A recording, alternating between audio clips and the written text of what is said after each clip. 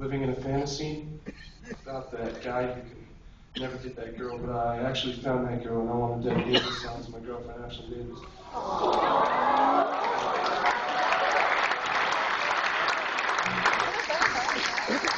I also wrote it for Parker and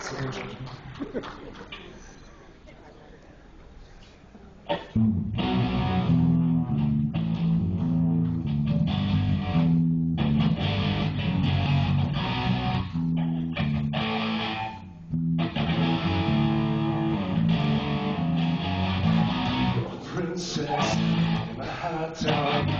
A single boy looking for love.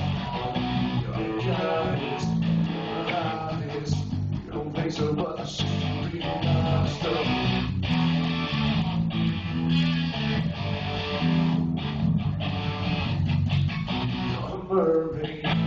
Lost sea. I'm a pirate